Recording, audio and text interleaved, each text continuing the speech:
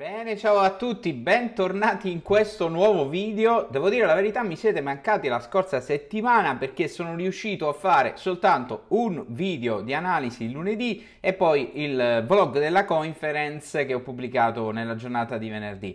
Oggi facciamo analisi ciclica e analisi tecnica di Bitcoin, Binance ed Ethereum. In particolar modo è importante oggi focalizzarci su una ipotesi che si sta configurando sui mercati che a me non piace molto. Sono da circa due settimane che analizzo la situazione di Bitcoin e analizzo questa possibilità eh, che non vi piace ragazzi perché in effetti dà come target di mercato per quanto riguarda la cripto più famosa del mondo un prezzo prezzo che ha una bella distanza dagli attuali livelli, cioè un prezzo target di almeno 5.500 dollari entro anche poco tempo. Quindi oggi facciamo questa analisi, andiamo a vedere il perché di questa eventuale possibilità e alla fine del video vi dirò anche come sto gestendo io la mia personale posizione sui mercati su Bitcoin in questo particolare momento.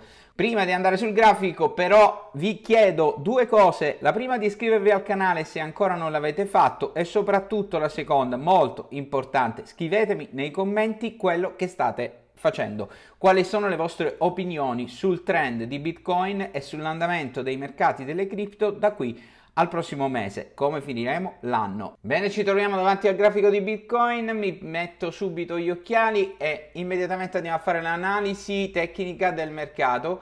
Uh, analisi tecnica che è molto semplice in questo caso perché Bitcoin dopo il minimo del 25 di novembre che è stato fatto a 6.600 dollari ha iniziato una gamba rialzista. Ora il problema è chiederci una cosa fondamentale, questa gamba rialzista è una gamba rialzista che cambierà il ciclo in corso. Badate bene che il ciclo in corso in questo momento è una fase ribassista di un ciclo annuale che è iniziato lo scorso anno, appunto, cioè a dicembre, il 15 dicembre del 2018. Questo è un ciclo annuale, ragazzi, e sta facendo la sua gamba ribassista. Quindi la parte di chiusura del ciclo. Ora il problema qual è? Andare a capire quando finisce questo ciclo, perché i cicli lunghi come gli annuali durano tanto. Questa fase qui è un rialzo consistente o no. Da un punto di vista di trading di breve periodo, questa gamba rialzista sembra essere estremamente debole. Però da un punto di vista ciclico questo non è un dramma, in quanto nel momento in cui inizia un ciclo che magari può dare molto, eh, molta soddisfazione, quindi molto rialzista, spesso capita che le parti iniziali sono un po' debolucce, ad esempio ragazzi, tipo una cosa del genere. Questi sono dei cicli magari molto forti al rialzo, al contrario per esempio di quello che è avvenuto qui, che ha fatto uno spuntone rialzista molto violento, vedete, ma poi il mercato ha iniziato a lateralizzare e poi a crashare, quindi esattamente la, eh, la parte opposta. Da un punto di vista eh, di analisi tecnica, comunque ragazzi, se non si va al di sopra degli 8000, che poi è questo livello che ha fatto da tappo, quindi da resistenza importante questo qui, se non si va al di sopra degli 8000 non cambia niente, questa gamba rialzista è solo un leggero ritracciamento di un movimento ribassista. Questa gamba rialzista l'unica cosa che indica è un sospiro di sollievo da un punto di vista di analisi tecnica, ma deve superare prima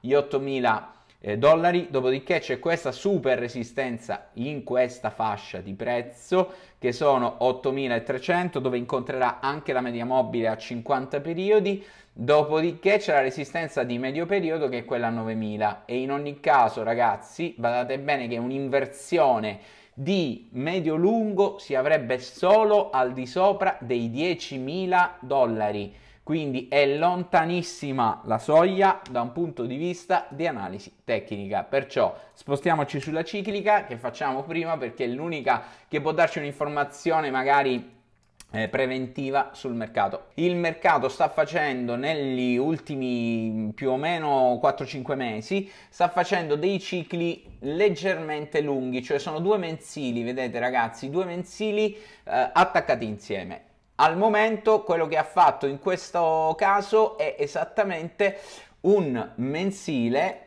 piccolino, vedete, che è finito qua 33 giorni. A questo punto se dovesse rispettare quello che sta facendo già da luglio, cioè mensili attaccati due vicino, eh, potrebbe benissimo essere in questa fase, fase, in sostanza, cioè di rimbalzo, per poi andare a chiudere il ciclo più grande che questo è un bimensile, chiamiamolo così, sta facendo questi 50-60 giorni, vedete qui ne ha fatti 43 perché era un po' eh, ternario, questo era un binario, l'ha fatto a 55, ora ipotizziamo che sia anche questo magari intorno ai 50-55 e potrebbe avere questa conformazione. Ecco da qui il mio grave eh, dubbio e la mia perplessità del perché in questo momento vi sto dicendo eh, che c'è una probabilità che Bitcoin vada a fare un minimo inferiore a 6600 e questa probabilità va tenuta in considerazione. Solo, solo superamenti ragazzi di quota 9000, ma soprattutto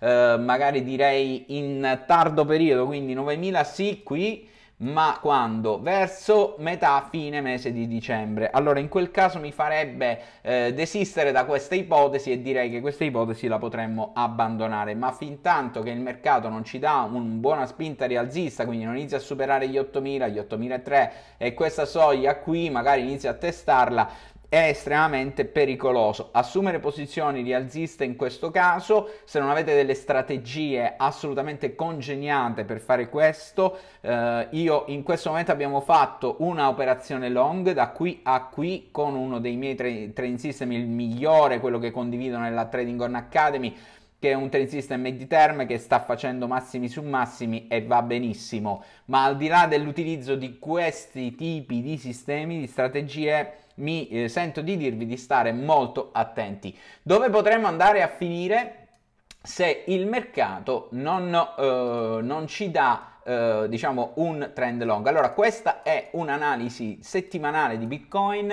Uh, prezzi di Bitstamp, non quelli di Bitfinex, uh, semplicemente per pulizia, ragazzi, del grafico, niente di che. allora, dove potremmo andare a finire? Questa è l'area, ragazzi, vedete? Questa è l'area di prezzo che potremmo raggiungere se questa ehm, analisi ciclica venisse rispettata e al momento mi sento di dire che una probabilità eh, c'è e anche secondo me superiore al 50% quindi magari abbiamo un 55% perciò ragazzi il movimento sarebbe questo qui ok? Questo qui quando quando? Metà fine mese di dicembre quindi fra poco, ragazzi, dovremmo vedere immediatamente debolezza e quant'altro. In questo caso avremmo un segnale fortemente negativo. Il primo è la rottura in close settimanale della media mobile a 50 periodi, media mobile che eh, in questo momento funge da eh, supporto per il mercato, come vedete, ma eh, badate bene che c'è anche un'altra media mobile che il mercato non ha mai rotto, questa di Bitcoin e più o meno si aggira intorno a questi livelli di prezzo. Quindi target 5.005, 6.000 entro metà fine mese di dicembre è possibile se il mercato non supera proprio molto velocemente di forza gli 8.300 e 9.000 dollari entro 10 giorni massimo. Andiamo a vedere poi anche Ethereum e subito BNB perché anche loro vanno a configurare una sinergia con questa analisi. Allora abbiamo visto la view ciclica di Ethereum che ci portava al eh, minimo che vi avevo indicato più o meno in questa fascia, lo ha leggermente anticipato. Anche questo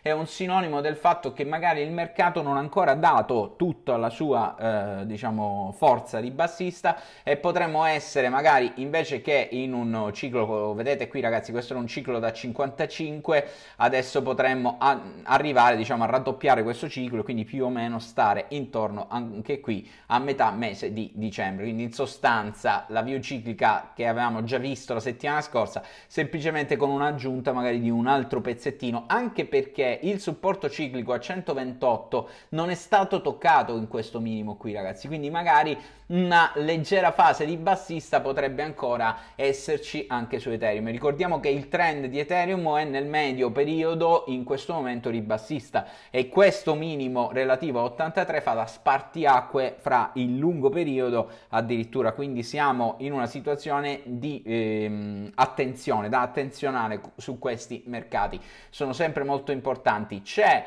in ogni caso eh, anche la decelerazione dei minimi, la spiego velocemente, i minimi di Ethereum decelerano, non sono mm, molto profondi, vedete, quindi c'è questo livello di decelerazione, l'ho mostrato anche più volte e questo va tenuto in considerazione, ma ragazzi, se non facciamo massimi e minimi crescenti, non cambia nulla. In questo momento anche Ethereum è trend ribassista. Binance Coin ancora più evidente questa cosa. Una sinergia eh, che potrebbe unire quindi anche il settore delle criptovalute tra il re che Bitcoin, la regina che Ethereum è eh, quella che secondo me è una coin che indica molto un uh, settore che è quello del exchange coin, quindi i, tutte queste token, questi coin che sono legate agli exchange che sono abbastanza utili in questa fase e quindi la tengo molto in considerazione. Da un punto di vista ciclico sembrerebbe anche qui ragazzi cercare ancora ancora un nuovo mimo perché saremmo in questo famoso ciclo eh, fatto in questa formazione, quindi le montagne classiche. Anche qui eh, l'attesa era intanto per quanto riguarda Binance già dalla settimana scorsa intorno al giorno del 5-6 di dicembre, ma badate bene che ancora una volta ragazzi io qui ho impostato un ciclo a 70, potrebbe essere benissimo 82 come il precedente, potrebbe allargare tranquillamente fino a qui. O comunque Binance aveva la tendenza a anticipare poco poco Bitcoin magari potrebbe in effetti ancora una volta anticiparlo eh, anche questa volta. Cosa sto facendo io sui mercati e come sto agendo in questo momento per prendere le mie posizioni? Faccio due cose, ehm, intanto da un punto di vista di lungo eh, e medio periodo utilizzo il mio trading system mid term pubblicato in Trading On Academy eh, che fa delle operazioni ragazzi eh, di qualche giorno, circa eh, 4-5 giorni, a volte prende anche dei trend molto cospicui, molto grossi, ma va solo long, non fa investimenti short. E questo perché in questa fase ho deciso di fare così. Giusto o sbagliato ragazzi sono opinioni personali ovviamente non c'è mai eh, un giusto o sbagliato nel trading da questo punto di vista. Però io da un punto di vista personale nel medio periodo seguo quel tipo di eh, trading system. Da un punto di vista invece di breve periodo sto facendo una serie di analisi operative pubblicate sempre in Academy con i ragazzi dell'Academy ci confrontiamo costantemente quindi analisi operative ogni giorno le pubblico e indico più o meno qual è l'andamento dei cicli, quello giornaliero, quello settimanale o addirittura quelli a due giorni, quindi quelli veloci per fare trading di natura intraday. E nel caso del trading intraday per esempio questa mattina più o meno a 7004 ho preso una posizione short da chiudere in giornata quindi fra poco in sostanza ragazzi. Però questi sono i miei due modi di agire. Lo short lo delego solo al trading di breve periodo in questo momento e poi invece nel medio periodo trading system mid term. Bene, per oggi è tutto. Scrivetemi nei commenti invece come state agendo voi in questa fase e cosa ne pensate di questa view. È veramente possibile scendere a 5500 come target? Sarebbe un Natale in rosso. Ciao a tutti e ci vediamo in settimana col prossimo video.